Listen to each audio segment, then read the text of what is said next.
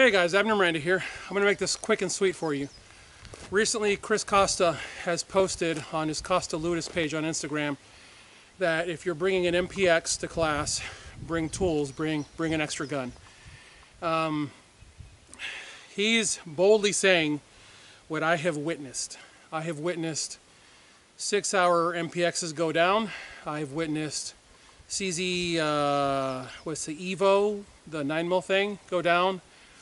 I have witnessed, um, well, I've witnessed other 9 mil AR-15 variants go down, um, which is why, after trying a lot of that stuff, I've gone to this. This is a Glock. This is a Glock with a stock and a forward grip. Um, if you're talking about the Micro Roni, still a Glock. If you're talking about the um, KPOS, still a Glock. If you're talking about the Flux Brace, Glock. If you have a weapon with an RMR on it and it's a Glock, you're not going to have failures in class. Guys, the evidence is out there. There are too many manufacturers putting out trash and they expect you, the customer, to, in fact, someone made a great comment the other day on the uh, SIG Sauer MPX thing. He said, don't be a beta tester for SIG because that's really what you're being. You're beta testing that weapon for them.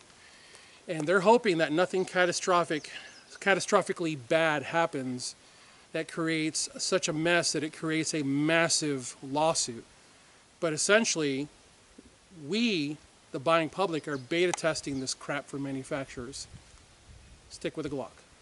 It runs reliably. I have cases, I don't even bother counting rounds, I have cases of ammo through this particular GS-17, cases upon cases of ammo. Never have I gotten a click when I expected a bang. It's a Glock, it's a Glock, it's a Glock. As always, I thank you guys for watching. God bless you all. Get those guns out in practice. Have a good one.